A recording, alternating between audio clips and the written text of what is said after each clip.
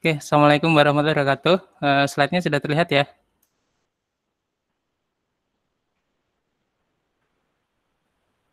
Sudah terlihat slide-nya? Sudah, Pak. Oke. Oke, baik. Kita mulai kuliahnya. Untuk pertemuan kelima, kita melanjutkan aljabar boolean. Nanti fokusnya ke fungsi boolean. Jadi fungsi boolean nanti ada bentuk standar dan bentuk uh, kanonikal, bentuk dasar. Jadi bentuk standar dan bentuk dasar atau bentuk kanon, kanonik. Kemudian ini istilah-istilahnya. Ada literal, yaitu variabel boolean atau komplemennya. Kemudian ada product term, jadi literal yang dihubungkan dengan operator N Contohnya A kali B aksen kali D. Kemudian ada sum term. D produk itu kali. Kemudian sum itu penjumlahan. Sum term adalah literal yang dihubungkan dengan operator OR. Ini contohnya. A tambah B aksen tambah D. Kemudian normal term adalah product term atau sum term yang uh, variabelnya munculnya hanya sekali. Ini contoh yang tidak normal, ini X-nya muncul dua kali. Oke, jadi uh, yang nanti kita pakai ada product term, hasil perkalian dari literal, kemudian sum term, hasil penambahan dari literal. Oke, kemudian kita masuk ke bentuk standar. Bentuk standar ada dua, sum of product term. Jadi penambahan dari perkalian literal. Ini misalnya nih AC tambah AB aksen C. Jadi sum of product. Penjumlahan dari perkalian. Jadi product term yang dihubungkan dengan operator OR. Kemudian bentuk kedua adalah product of sum perkalian dari sum term. Jadi sum term yang dihubungkan dengan operator n. Ini contohnya. Ini adalah bentuk standar. Kemudian tidak semua fungsi boolean masuk ke bentuk standar. Ini contoh yang tidak standar. Jadi ini yang di dalamnya adalah apa nih? Sum of product. Terus ini juga sum of product, ini anggap aja produknya cuma satu literal, kemudian dikalikan lagi. Jadi yang bentuk standar itu dua level, sum of product atau product of sum. Yang ini tuh sum of product of product lagi. Eh, kembali nggak? kembali kebalik nih. Sum of product, product of sum of product. Tiga level. Jadi perkalian dari penambahan dari perkalian di level paling atas dulu, ini perkalian dari penambahan dari perkalian. Untuk bentuk standar itu pasti dua level. Kenapa kita pilih dua level? Karena dua level itu sudah merepresentasikan semua bentuk fungsi dan jumlah gate-nya paling minimal. Jadi bentuk standar dua level. Sum of product atau product of sum. Jadi penambahan dari perkalian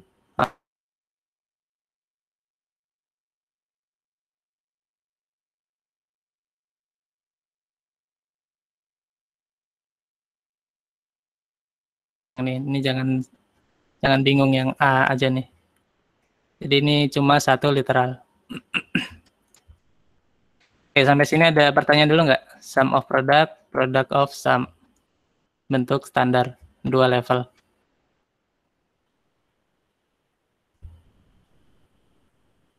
Belum ada? Belum, Pak. Oke. Wah, mana kursornya hilang. Dia ada bentuk standar.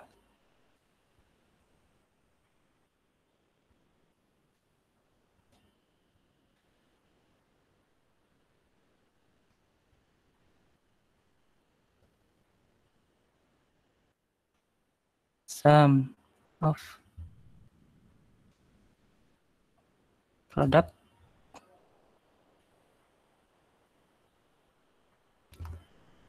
terus product of sum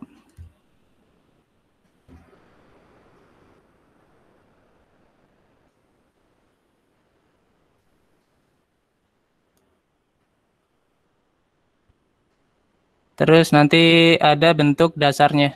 Bentuk dasar ini yang belum disederhanakan. Masih semua term itu lengkap literalnya. Bentuk standar ini biasanya yang sudah disederhanakan. Oke. Lanjut ke bentuk dasar. Nah, bentuk dasar ada istilah min term dan max term. Min term adalah product term, jadi perkalian dari semua variabelnya. Kalau variabelnya ada x, y, z, berarti satu term itu product termnya ada semua x, y, z.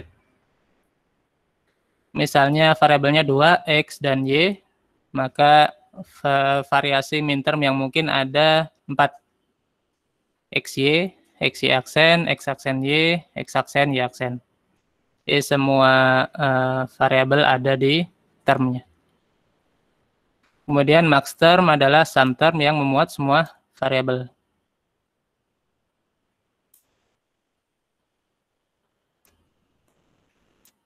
Misalnya variabelnya A dan B, nah, maka ini jangan X, Y nih, misalnya eh, contohnya nih.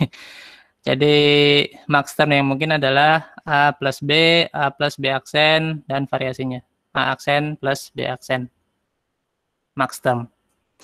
Jadi ini bentuk dasarnya. Bentuk dasar itu yang belum disederhanakan.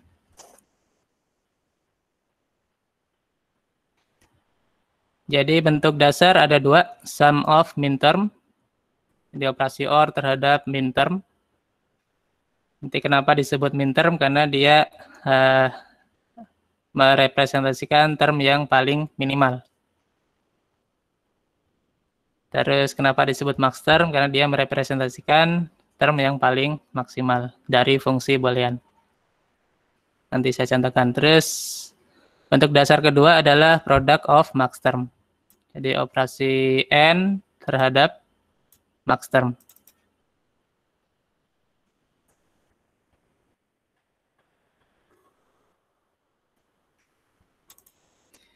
Oke, jadi bentuk dasar ada dua. Jadi bisa sum of min term atau product of max term. Nah, ini contohnya kalau inputnya dua variabel x dan y, maka min termnya ada 4. Dikasih nomor dari M0, min term M kecil, sampai M3. Nolnya dari mana? Dari sini. X aksen, Y aksen, itu kan anggap aja X-nya 0, Y-nya 0. Jadi 00 itu nomornya nomor 0.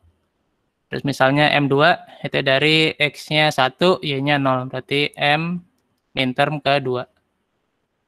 Seperti itu. Terus yang max term itu adalah uh, balikan komplement dari min term. Ya ini nih. Jadi max term ke J adalah min term aksen ke J. Jadi yang max term ini balikannya. Kalau max term 0 berarti 11. Kan 0 kan 00, balikannya 11. Berarti X tambah Y. Pokoknya gampangnya tuh cari dulu min termnya, nanti max termnya adalah uh, komplemennya. Sampai sini ada pertanyaan nggak yang indeksnya nih?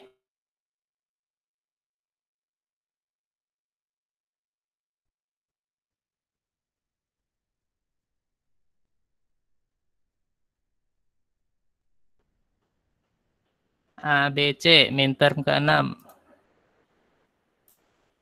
Silakan di chat atau dijawab langsung. Variabel input A, B. Terus misalnya minterm ke-6 yang ditanya apa tuh? Termnya apa? Apakah A kali B kali C atau A kali B kali C akses?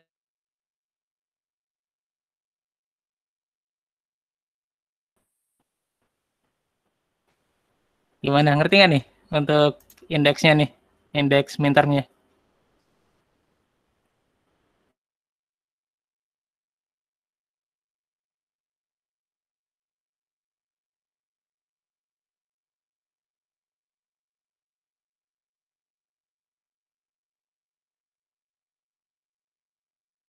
Nggak usah lengkap itu, kita tinggal sum indeksnya berapa.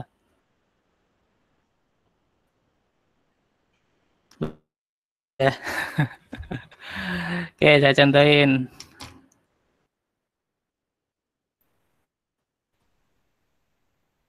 Kemudian jawab. Uh, kalau ditulis lama nih. Saya contohin di notepad aja. Variabelnya A, B, C. Terus ada fungsi F. 0, 0, 0, 0, 1, 1, 1, 1.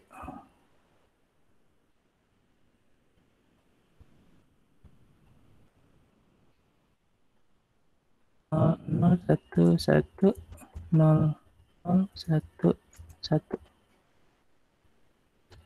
nol satu nol satu nol satu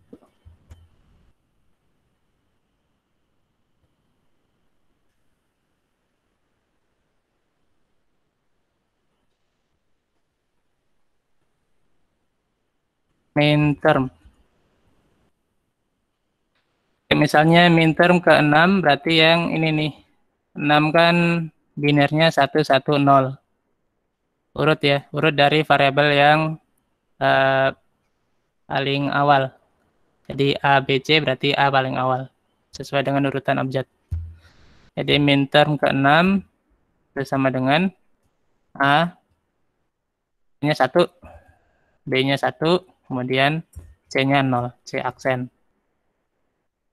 Misalnya term kedua. A-nya 0, A aksen, B-nya 1, kemudian C-nya 0, C aksen. Ini untuk penomoran term. Terus kenapa disebut term? Karena itu term yang e, merepresentasikan fungsi paling minimum. Misalnya saya punya fungsi ini nilainya 0, 0, ini satu nol nol nol nol nol. Ini fungsinya. Jadi f sama dengan ini. Kalau a b c nya nol semua maka uh, f nya nol. Terus semuanya nol nih. Dia bernilai satu kalau a nya nol b nya satu c nya nol Nah, maka fungsi itu adalah apa nih? F sama dengan A aksen kali B kali C aksen. Gitu. Ini min termnya nih. Min term ke mana nyala? Posisi nomor 2. Min term. Terus kalau semuanya nol ini berarti fungsinya f sama dengan nol nih. Jadi apa ya? Yang inputnya nggak dipakai. Jadi minterm adalah uh, term yang uh, paling minimal. Jadi ini punya fungsi, terus satu aja yang satu kombinasi input aja yang nyala. Berarti ini minterm kedua nih. Dalam notasi minterm dua dari mana? Dari binernya nih, nilainya berapa nih? 0, 1, 0, 2.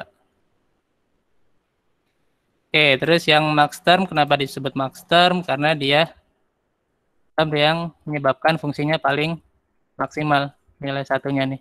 Misalnya kayak gini nih. Kayak gini gimana nih? F sama dengan apa nih?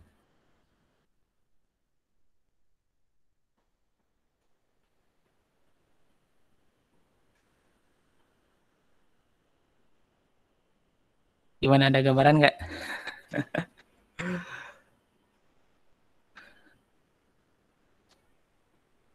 Berarti ini max term ke dua nih. Term kedua itu berarti A tambah C aksen tambah C. Ini fungsinya ini nih. Fungsi booleannya. Jadi kalau A-nya 1 maka bernilai 1, benar kan? Kalau B aksennya uh, B-nya 0 maka nilainya 1. Ini B-nya 0. Terus kalau C-nya 1 maka nilainya 1. Ini ini ini dan ini. Itu, itu kenapa disebut max term karena dia menyebabkan fungsinya uh, outputnya paling maksimum. Kalau semuanya satu berarti inputnya nggak ngaruh. F sama dengan satu. Inputnya nggak kepake. Oke, itu untuk kenapa disebut min term dan max term.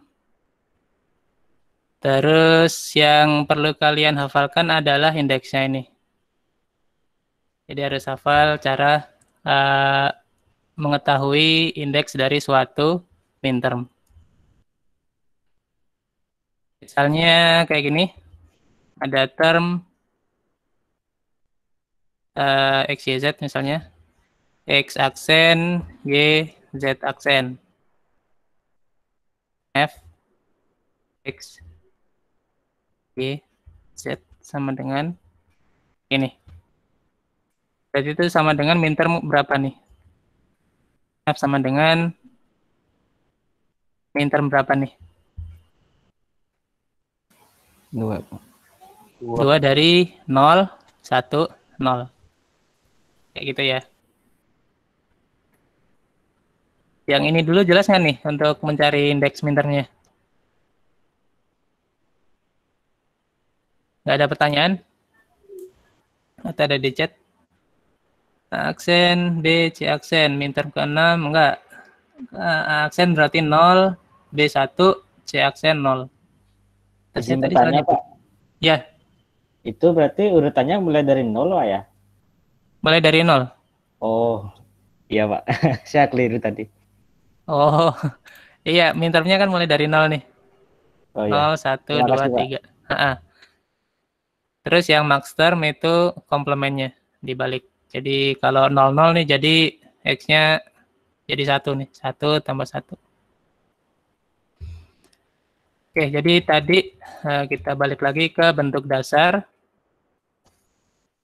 Ada sum of min term.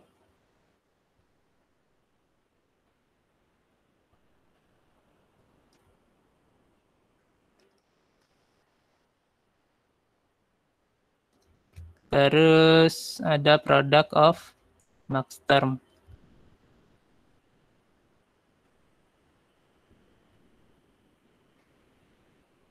Jadi bentuk dasar semua variabel ada di uh, termnya, di literalnya.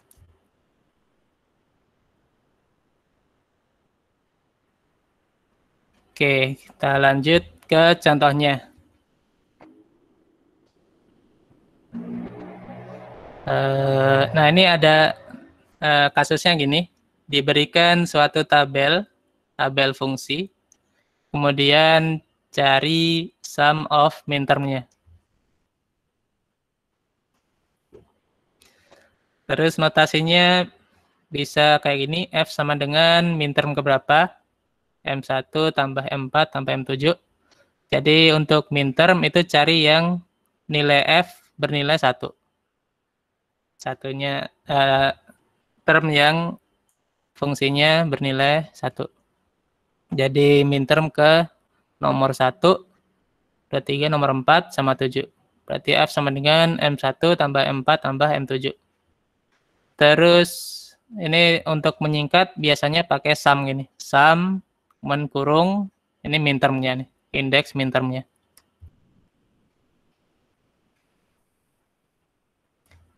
Oke, kemudian untuk yang product of sum itu uh, kebalikannya nih. Cari yang f-nya nilainya 0. Jadi ada uh, max term ke 0, 2, 3, kemudian 5, 6. Gitu. Jadi gampangnya kalau udah tahu sum of min term, maka sum, uh, product of max termnya adalah kebalikannya. Dari 0 sampai 7 yang belum di sini, maka taruh di uh, product of max term. Yang ini notasi sigma untuk sum, Ini sigma, sum, kemudian ini P untuk produk. Ini sum dari minterm 147, kemudian produk dari maxterm 02356. Jadi biasanya kita pakai notasi yang singkat ini.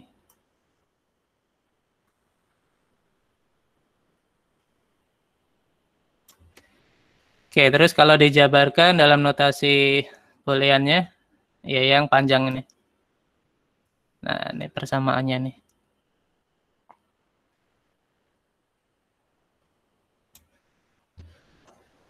Oke, ini bentuk dasar. Jadi yang paling dasar nih, semua variabel ada di termnya.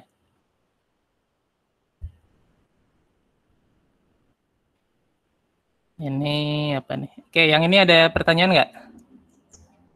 Oh, izin bertanya, Pak. Ya, silakan.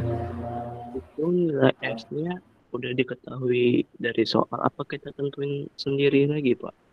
Yang mana? Yang di tabel tuh kan ada yang F tuh X, Y, Z sama F. Oh, yang dari soal itu ininya, apa tabelnya. Yang F Betul. ini gimana cara uh, taunya? Gitu kan maksudnya? Iya, nilai dari F-nya. Oke, berarti contohin ya. 0, 1, 0, 0. 0, 1, 0, 0. 1, 0, 0, 1.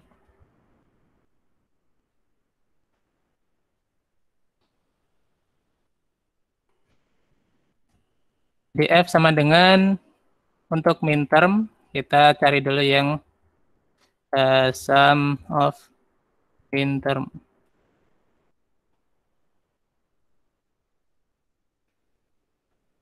F sama dengan min term ke berapa nih?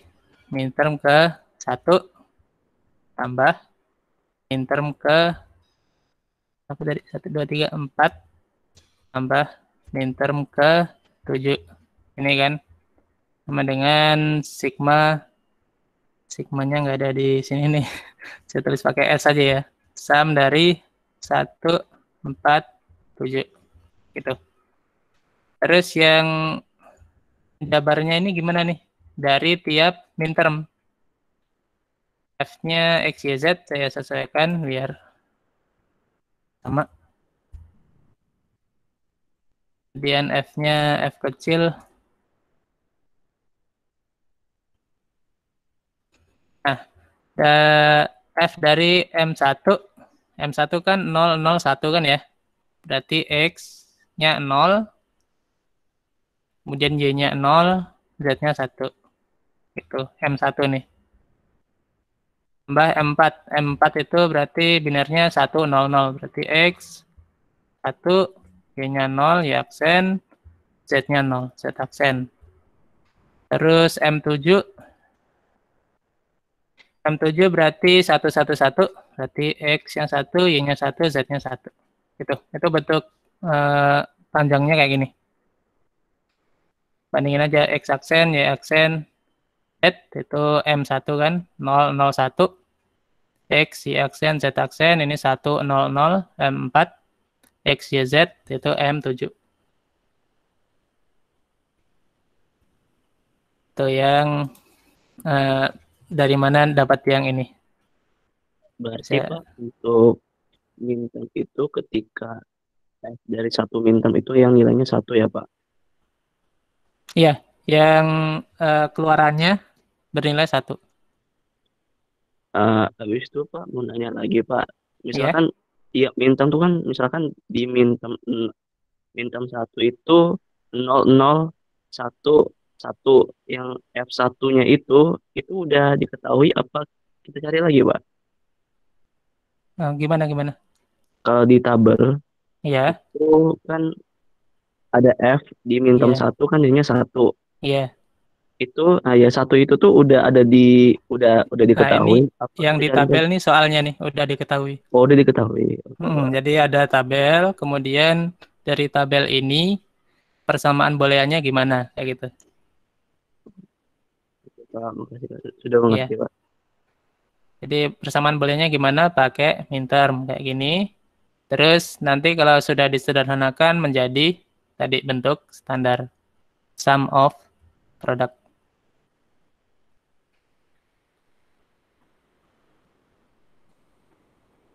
Terus kalau yang kebalikannya, product of max term, itu cari di F yang nilainya 0. Nanti max term ke berapa? Product of max term. F sama dengan, nah cari max termnya yang nilainya 0 dari keluaran fungsi F max term ke 0, max term ke 2, 3, terus max term ke 5, max term ke 6. Dengan produk dari max term 0, 2, 3, 5, 6. Jadi indeksnya kebalikan dari sum of min term. Tapi jangan kelebihan nih, jangan nulis 8 karena 8 nggak masuk. Karena variabelnya cuma 3, berarti indeksnya dari 0 sampai 7. Nanti penjabarannya gimana sama kayak tadi. M0 berarti balikan dari interm ke 0. Interm ke 0 kan X aksen, Y aksen, Z aksen. Berarti ini X tambah Y tambah Z kali M2, oh ini kali ya. Kali, operatornya kali ini. Product of term. Ya. M2 berarti 0, 1, 0. 0, 1, 0. Kalau untuk max term ini mikirnya kebalik nih. Kalau 0 berarti nggak di aksen, kalau 1 berarti di aksen. 3 berarti 0, 1, 1 nol satu satu terus lima satu nol satu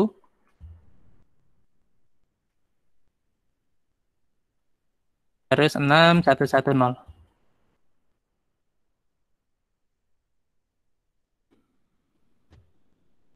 Oke. Dicek lagi jangan sampai salah. Ini berarti 0, 0, 0, dan 0, 1, 0, 2, 0, 1, 1, 3, terus 0, eh kebalikan, 1, 0, 1, 5, 1, 1, 0, 6. Yang max dibalik. Oke, tapi kita jarang nulis yang panjang ini. Nah, kita pakai notasi yang sigma atau pi untuk sum dan produk kayak gini notasinya. Lebih singkat. Oke, terus di sini uh, contoh berikutnya ada dua fungsi F1 dan F2. Keluarannya yang di tabel, berarti ini soalnya nih, tabel berikut. Terus untuk fungsi yang F1 itu berarti min termnya sum dari min term 1, 4, 7. Oh ini yang tadi nih, yang di depan ini. Terus fungsi kedua itu sum dari min term ke 3, 5, 6, 7. Ini nulisnya kayak gini. Sum of min term.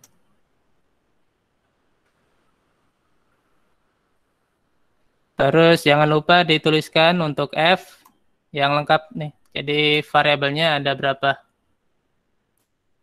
Karena nanti menentukan uh, translasi dari notasi sum ke bentuk uh, panjangnya. Ini nggak bisa. Nih, jadi uh, kasih tahu variabelnya apa aja yang dipakai x, y, z. Berarti nanti untuk penjabarannya ini adalah min term 1 itu berarti x aksen kali y aksen kali z dan seterusnya. Ini kurang nih. X, Y. Karena kalau nggak diberikan nama variabelnya dan berapa jumlahnya, itu nggak bisa ditranslasi ke sini. Ke bentuk sum of product. X, Y, Z.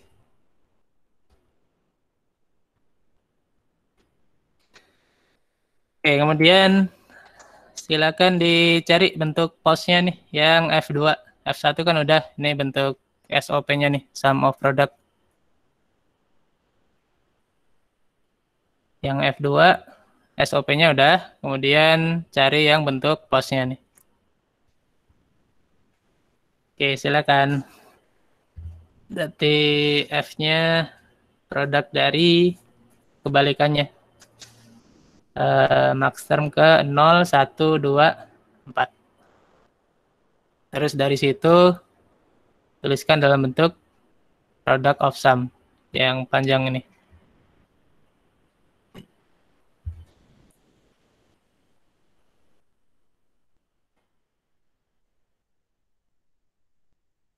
dia ada F, X, Y, Z sama dengan sum dari min term 3, 5, 6, 7. Berarti sama dengan produk dari max term 0, 1, 2, 4. Nah ini dipanjangkan untuk panjangnya.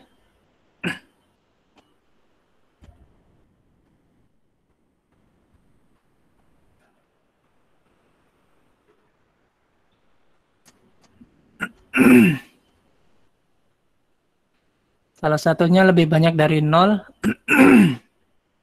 Jadi yang satu itu tetap minten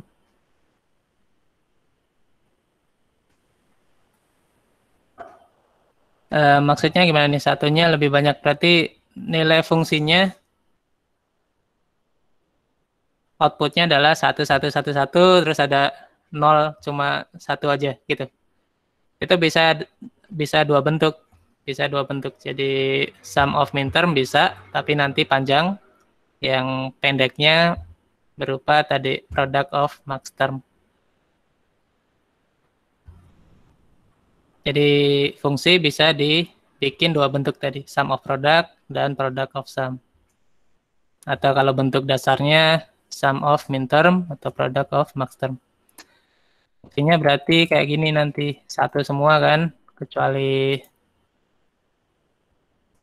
kecuali satu term yang nilainya nol. Misalnya satu semua berarti sum dari misalnya 0, 1, 2, 3, 4, 5 berarti nilainya 0 misalnya. 6, 7.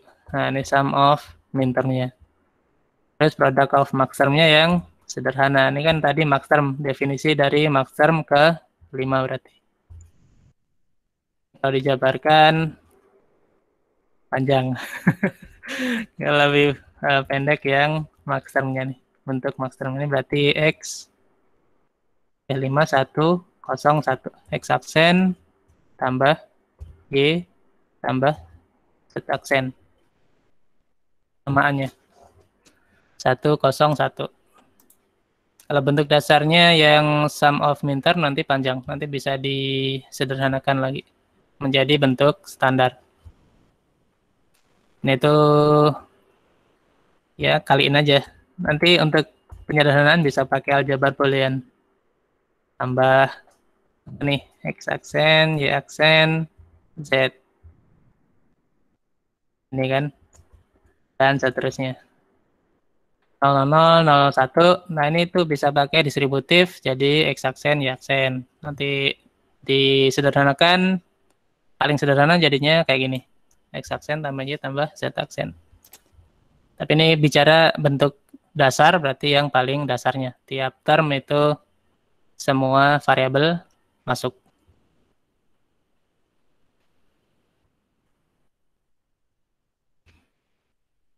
Kayak gimana nih? Uh, berarti product of sum-nya kita cari dari product of max term. Term 0 berarti 000, balikannya 111.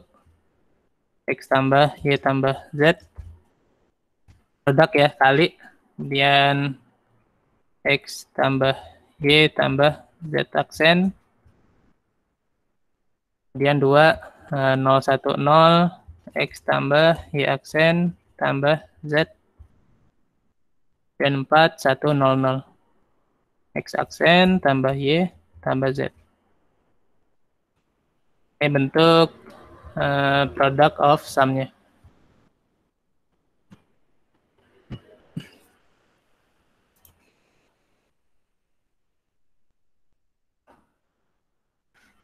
nol nol nol nol nol satu nol satu nol satu nol nol. Oke. Jadi yang max term itu uh, lihatnya kalau aksen itu satu gitu aja. Ini nol nol nol nol nol satu nol satu nol satu nol nol nol satu dua empat. Uh, kalau bingung cari dulu min termnya terus dibalik. Min term 0 itu berapa terus di komplement. Kalau bingung max termnya. Terus, oke, okay, berarti bentuk post sudah. Oke, okay, yang contoh dua di depan tadi itu kasusnya diberikan tabel kebenaran, kemudian kalian bikin fungsi booleannya.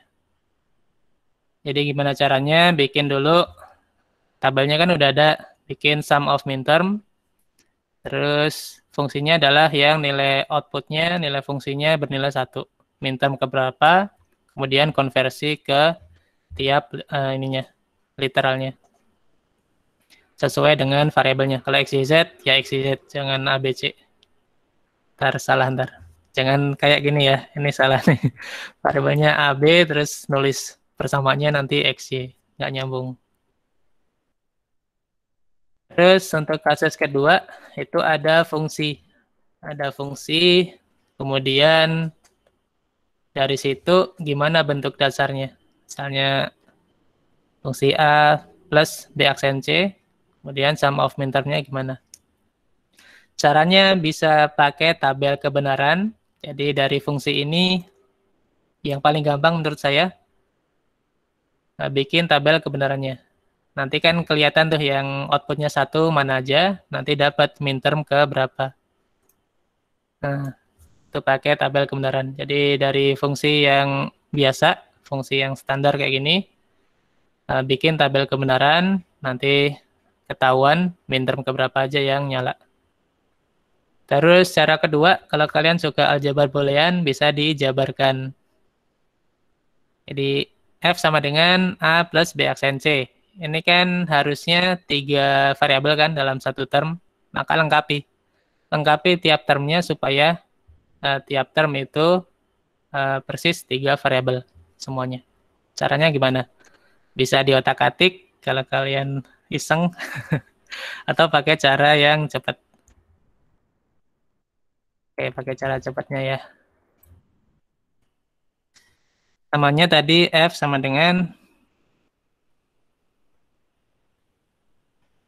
A tambah B aksen C. Cara cepatnya dijabarkan A-nya. A-nya kan satu literal kan ya. Oke, kita uh, perjelas dulu nih. Ini variabelnya totalnya ada berapa. Jadi F-nya diberikan keterangan inputnya. Parameternya ada berapa? Ada tiga. Ini. Karena kalau nggak diberikan gini, bisa berapapun nih literalnya, eh, variabelnya. Bisa 3, 4, 5, dan seterusnya. Oke, kita bahas yang A. Ini A berarti cuma satu variabel, berarti dia kurang 2. Gitu kan, berarti ada kosong 2 nih. Ini kan, harusnya ada B dan C. Kemudian yang B aksen C, itu cuma dua variabel, berarti A-nya yang belum. B aksen C. Nah, untuk mengisi ini tinggal kombinasinya. Kombinasi dari B dan C. Dari 00, 01, 10, 11. Jadi dari 00 berarti B aksen, C aksen, dan seterusnya. Berarti yang kosong dua variabel, kombinasi dua variabel ada 4. Ada dua pangkat dua, 4. Berarti dijabarkan aja nih.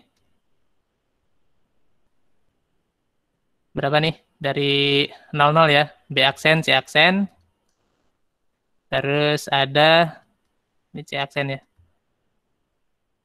01 B aksen C. Terus ada 10 B C aksen, ada 11 A B C. Nah, ini ditambah semua nih. Tambah, tambah, tambah. Tambahnya taruh mana nih? Tambah, tambah, tambah, tambah. Nah, nggak usah deh. Ini penjabarannya dulu ya. Nanti terus ditambah yang term kedua. Term kedua kurang satu variabel. Berarti variabelnya satu, kombinasinya berarti ada dua. Nol atau satu kan. Berarti ini dijabarkan, A-nya kan belum ada nih. Tambahkan A, A-nya 0, dan A-nya bernilai 1. Ini. Jadi, penjabarannya kayak gitu. Variabel yang kurang itu dijabarkan dengan kombinasinya. Kalau dua variabel yang kurang berarti kombinasinya ada 4. Kalau satu variabel yang kurang kombinasinya ada 2. Tiga variabel yang kurang kombinasinya ada 8. Terus tinggal direkap aja nih. Uh, kan ada 6 nih, 6 literal nih. Eh, 6, 6 term. Tiap term dituliskan mulai dari term yang paling kecil. Paling kecil itu yang aksennya paling banyak. Yang mana nih ya? Aksen di aksen C. Atau nggak urut nggak apa-apa sih. Nanti dari mintermnya kelihatan urut urutannya. Terus A, B aksen, C aksen. Terus A, B aksen, C. Nah, ini sama nih, A, B aksen, C. Kita tulis satu aja. Terus A, B, C aksen. Yang terakhir A, B, C. Nah, di sini kalau belum urut nggak apa-apa, nanti kita bisa urutkan di ketahuan di mintermnya nih. Ini saya lanjutkan di sini. Jadi A aksen, B aksen, C itu minterm ke 1, 001, tambah minterm ke 100, berarti ke 4. Kemudian A, B aksen C, 1, 01 M5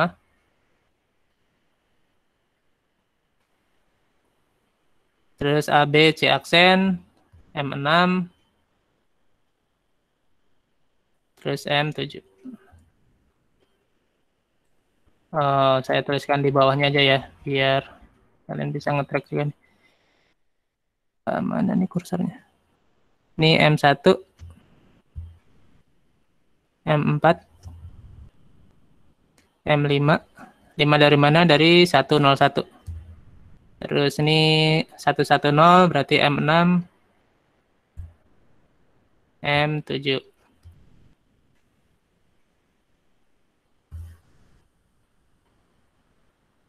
Terus dari situ notasi sigma. Jadi sum of min term. Di F A,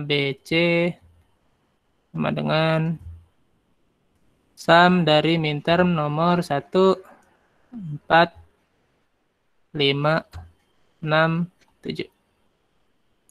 Oke, itu cara cepatnya. Jadi dikasih blank dulu nih. Kasih apa placeholder untuk variabel yang hilang. Terus tinggal fill di fill in the blank aja nih. Diisi yang kosong. Cara ngisinya pakai kombinasi semua kemungkinan variabel. Oke, 1, 4, 5, 6, 7. Terus kalau pakai aljabar boolean, eh, riskan ya, karena kalau kalian nggak teliti, salah di tengah itu, ke bawahnya juga ikut salah. Eh, lebih baik pakai, bisa pakai tabel kebenaran, atau diisi yang variabel yang masih kosong. Kemudian membuat produk of max term. Oke, sampai sini dulu. Ada pertanyaan nggak sebelum saya lanjut?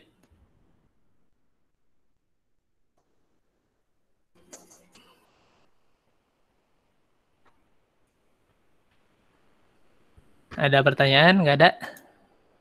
Belum ada. Apa? Belum ada. Oke. Okay. Ini yang sum of minterm ya. Dari fungsi boolean yang diberikan. Kemudian berikutnya membuat product of max term. Langkahnya sama. Jadi dari persamaan yang diberikan bikin tabel kebenaran atau diisi yang variabel yang masih kosong. Nah, ini F-nya ini uh, kalau nggak ada berarti kalian inverse uh, inverse apa? Uh, lihat di ininya persamaannya. F-nya nggak ada kan? Uh, variabelnya apa aja? Lihat di persamaannya ada X, Y, dan Z. Berarti kita anggap F-nya parameternya ada 3 X, Y, Z. Kemudian langkahnya sama buat sum of min term. Uh, sama kayak tadi, isi yang masih kosong. Ini berarti Z-nya nggak ada, yang ini Y-nya nggak ada. Tinggal diisi kombinasinya. Kemudian dapat sum of min term-nya nih. Jadi langkahnya sama. Untuk product of max term, cari dulu sum of min term-nya. Terus product of max term-nya adalah kebalikannya. Kayak gini. Jadi caranya sama dengan yang contoh di sebelumnya. Oke, ini contohnya XY tambah X aksen Z.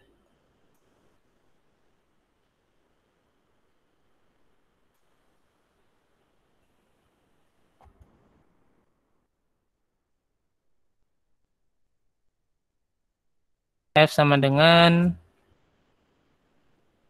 XY tambah X aksen Z. Berarti yang depan ini ada satu yang kurang. Terus yang berikutnya satu juga yang kurang. Tinggal diisi yang kurang. Yang depan kurang Z, berarti kita lengkapi X, Y, Z aksen tambah X, Y, Z. Ini kalau kalian sederhanakan, jadi balik lagi ke X, Y. Karena Z tambah Z aksen itu satu. Terus tambah yang belakang X aksen, Y-nya nggak ada. Y aksen, Z tambah X aksen, Y, Z. Oke, kita cek ini min term ke berapa. Ini 110 berarti M6, 111 M7, 001 M1, terus 011 M3 sama dengan sum dari min term ke ini diurutkan ya 1 3 6 7 terus product of max termnya komplemennya. Dari 0 sampai 7 yang enggak ada di uh, min termnya. Berarti 0 2 4 5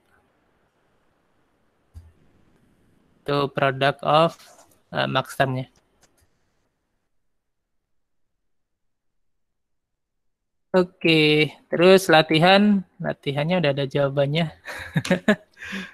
udah ya. Uh, ini ada persamaan boolean, uh, fungsi boolean.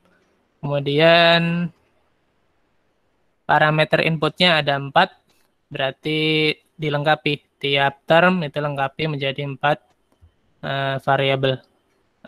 Uh, caranya sama, jadi dikasih placeholder, kasih blank ini, nanti tinggal diisi.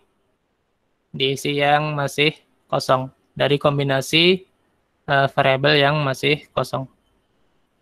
Ini berarti dari A aksen, B aksen, C aksen, D, ke 0001, ini langsung nih min term 1, dan seterusnya. Ini yang cara cepatnya lebih cepat lagi. Jadi kayak gini.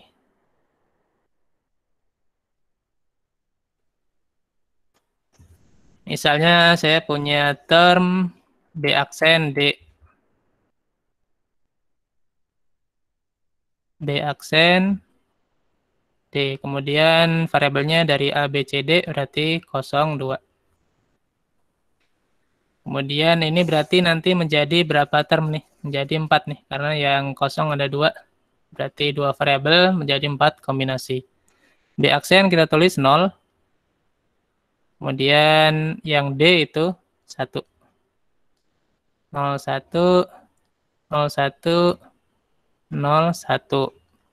Terus kombinasi yang belum ada, berarti dari 00 sampai 00, 01, 1, 0, 1, 1. Udah, dari situ dapat min termnya nih. 001 itu min term ke 1, 0011 min term ke 3, ini min term ke 9, ini min term ke 8 tambah 3, 11. Kayak gitu. Ini cara yang lebih cepat lagi. Nggak usah dijabarkan dalam bentuk uh, semua termnya. Langsung indeksnya. Terus aksen D berarti yang depan 0. D berarti yang paling belakang 1. Kemudian tengahnya kombinasi 00, 01, 10, 11. Dapat indeks min termnya. Dan seterusnya. Yang ini ada pertanyaan, ini empat variabel, indeksnya dari 0 sampai 15. Nggak ada? Kalau nggak ada, sampai sini saja. Untuk presensi di LMS, ada kuis, dua soal, 15 menit. Nah, jangan lupa presensinya, saya buka sampai besok malam.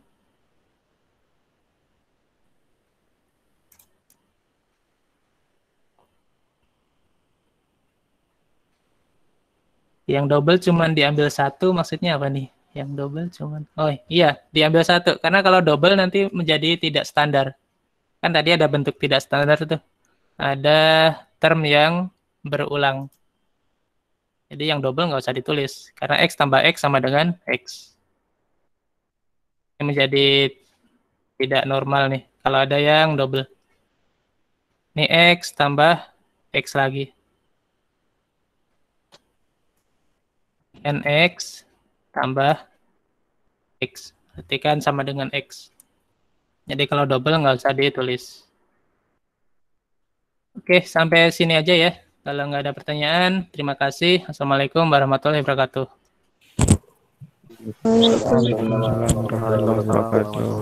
Terima kasih Pak. Sama-sama. Bapak izin nanya Pak. Iya, silakan. Uh, ini tadi kan saya barusan ngecek yang presensi kuliah.